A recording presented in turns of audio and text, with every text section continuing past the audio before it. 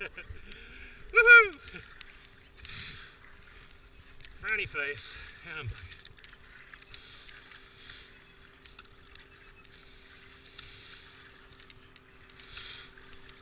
Wow, that took it out me.